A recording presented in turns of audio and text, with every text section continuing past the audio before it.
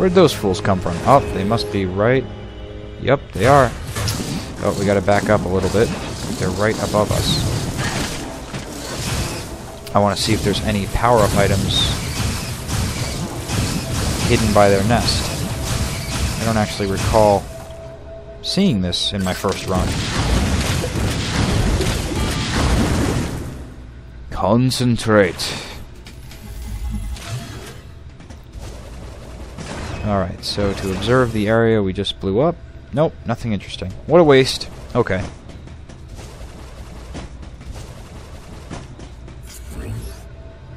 Nothing of interest, but it's good to look around your surroundings and get a grasp for what's going on. You'd be surprised of what you can do in first person mode once you get down the technique. You know, definitely, I will admit, this is better with practice. Be careful of those piranha plants. Some of them are actually lively like that one. Jeez. Yep, that one's a lively one. Just keep on jumping. Don't even bother shooting, guys. Run around this giant viney spiral loop here. Uh, I was cautious about that one. but with a little bit of training, a little bit of practice at launching missiles and locking on to your targets, it's a certain feel, and it becomes pretty natural after a while. So we'll go into it like this. Switching in and out, I've heard some people say could actually give them vertigo, but that's a little excessive, I would think. I've never gotten vertigo from switching into first person and then back into third. We don't even need to bother with their nest. I doubt that it houses anything valuable to us because it's hanging over a ravine. And we can't hop over those guardrails, so... Yep, it's not as expansive and explorative as maybe the Prime games were, but it's one heck of a platformer. Whoa, boy. Don't attack me, you floating shell things. Out all these piranha plants that are in our way. A missile would be simpler, actually. What I love about this game is that missiles are unlimited. On this, just use the directional pad to steer, jump with the 2 button, and dodge those thorny spikes. But I love that missiles are unlimited. It's so nice not having to worry, ah, damn it, about running out of powerful ammo. Alright, he's hid behind a bush. See, look at this. I could just take out fools all day with my missiles. And it doesn't even matter. All I have to do is concentrate. Look at that. Sniping them from all the way over there. They just don't know what to do. But with a little concentration, bam, missiles are all back. See, that is such an excellent feature. What the hell was that? Holy shit.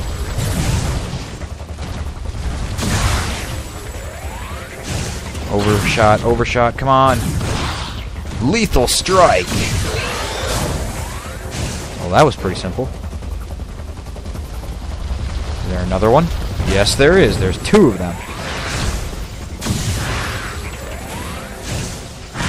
Damn, come on. We want to get a lethal strike. No, we don't want to be hit by an armadillo. There we go. Come on, you armored dildo. Put up a fight. Lethal strike. Oh wow, I think his friend even got hit by recoil damage. That's ridiculous. Keep using those sense moves, guys. Just keep on tapping on the directional pad.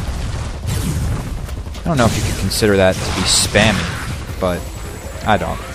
Because you have to tap within good timing. It, that's the difference between spam and something that's well programmed. Lethal strike. That it takes great timing to pull off. And it can't just be done by simply mashing one button. Unlike Pokemon Rumble, where 2 or 1 is the victory button. Can't speak for Rumble Blast yet because I haven't tried that one, but Metroid Other M is not like that at all. Okay, so that door is locked. We're going to have to climb up this perspective. Just one miss, one more missile for good measure. Alright, there's really not much we can do in this room. Oh, but wait. We can hop up here. Gain a missile tank. So that's good. Um, trying to think, aside from that, we might be able to do something in here. Maybe. Lay down your power bombs to defeat all the enemies here. Oh yeah, that's right, you can actually go into your normal perspectives here. It's pretty freaking beast.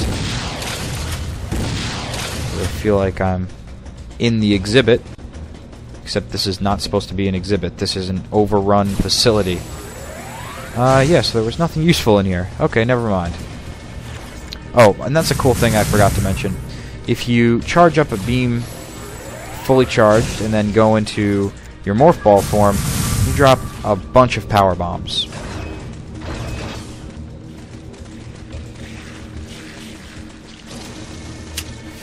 Alright, well, if we can't go that way... Hmm. How exactly are we going to go? Because this... This panel is closed. Or not accessible to us at all. So, in order for us to go anywhere...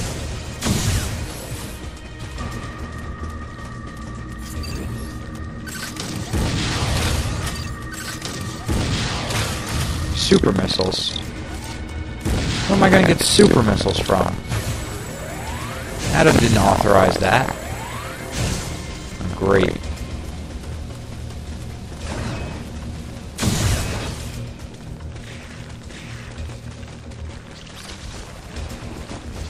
I have to take all these enemies out or something? That's probably the case. Let's do that right now. Elimination! All of you mofos, get out of here. I remember this being a, a point of pause for me in my first run, too. Oh, they keep just burrowing out of the ground. That's bullshit. Hold on. Yeah, there's no way to go back up, so... Alright, well, Adam, you see everything we see. Right? So, you gotta see this door here.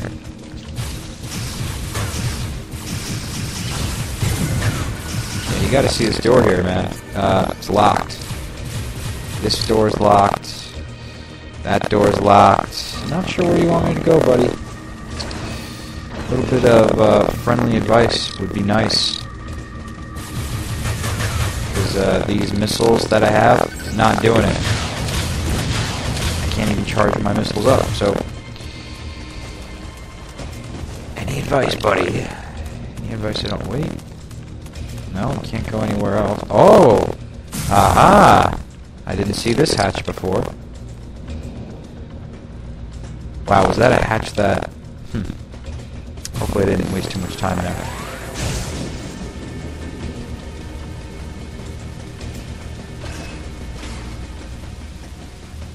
Hmm. the breeding room. What went on here?